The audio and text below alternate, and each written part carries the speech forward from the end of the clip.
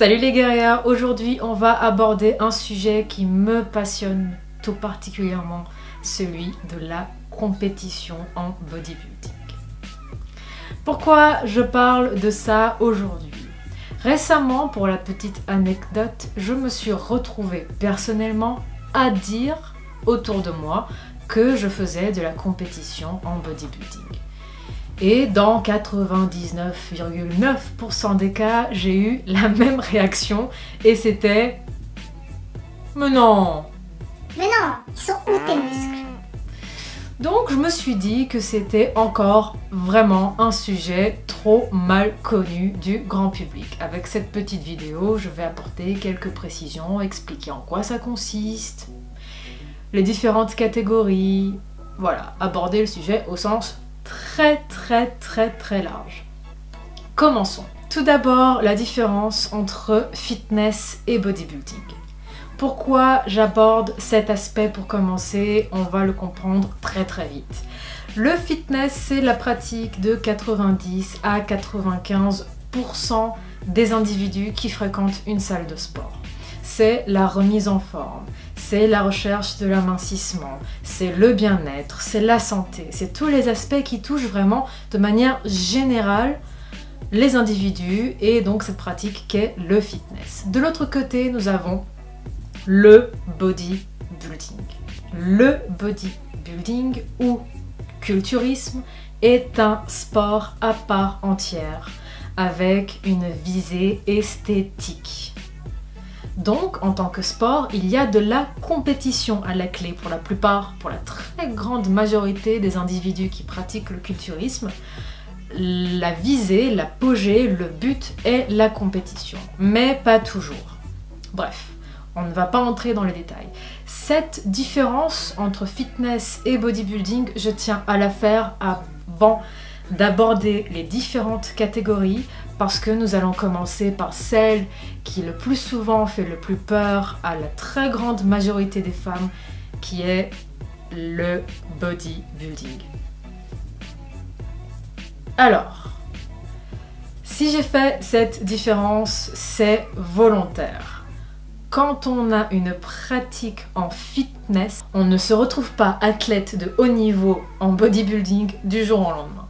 Donc pour toutes les guerrières qui me disent, et me le disent très souvent, je ne veux pas me retrouver bodybuildé, il faut garder à l'esprit que c'est un sport avec des athlètes de très haut niveau qui ont une pratique depuis de très nombreuses années, une hygiène de vie, une passion, vraiment tout est paramétré, calibré pour atteindre ces résultats-là. Donc les filles aucun risque de se retrouver bodybuildé quand on fait du fitness. Et c'est valable pour toutes les catégories, même pour la catégorie bikini. On ne se retrouve pas avec une maturité musculaire du jour au lendemain. Ça, c'était la petite précision avant qu'on attaque le vif du sujet. Les différentes catégories au sein du culturisme pour les femmes. Tout d'abord, donc, la catégorie bodybuilding. Je vous mettrai juste en dessous ou quelque part dans la vidéo euh, les taux de masse grasse corporelle qui sont euh, demandés globalement pour chacune d'entre elles et je vais vous donner des descriptions très très globales. Là donc on commence avec la catégorie où il y a le plus de développement musculaire. On va chercher des stries musculaires, donc on va chercher à voir les muscles, on va chercher à voir la séparation musculaire, on va chercher les physiques les plus euh, harmonieux, symétriques, mais extrêmement développés. Juste en dessous, il y a physique. Là, on augmente encore un petit peu en masse grasse corporelle. Euh, on recherche toujours euh, une certaine division musculaire, donc toujours une séparation musculaire, mais pas trop de stries. Elles restent apparentes, donc les stries musculaires restent apparentes, mais pas trop.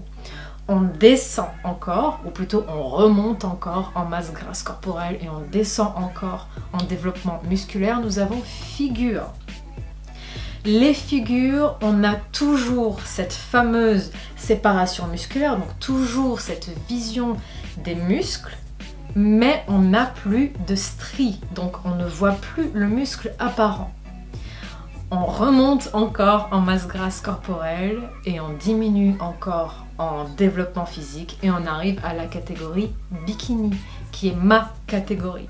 Là, on n'a plus ni division musculaire apparente, ni strie apparente. Et on est encore au niveau des taux de masse grasse corporelle un peu plus haut et au niveau du physique un peu moins développé. Ces différentes catégories ont chacune leur propre spécificité et en fonction des fédérations, on ne demandera pas exactement la même chose. Mais très globalement, c'est les différentes catégories que l'on va retrouver dans la plupart des fédérations.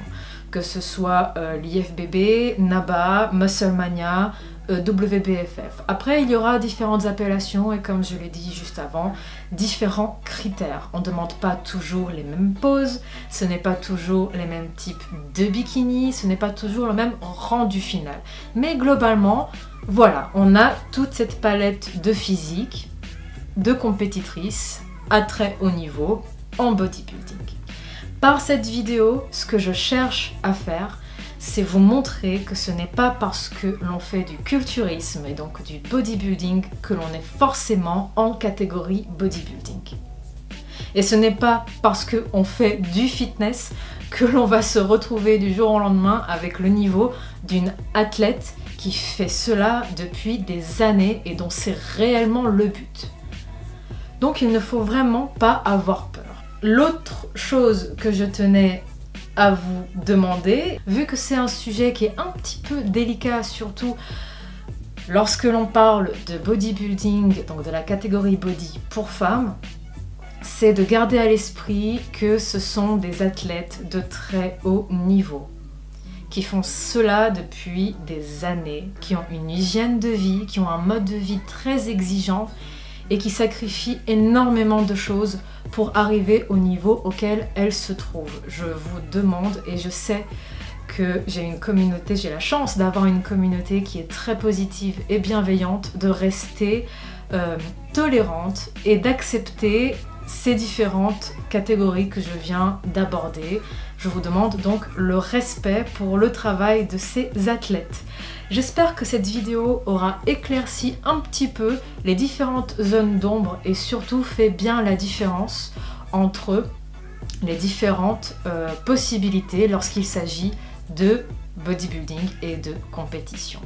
J'espère qu'elle vous a plu. Cette petite vidéo sera la première d'une série consacrée à la compétition féminine.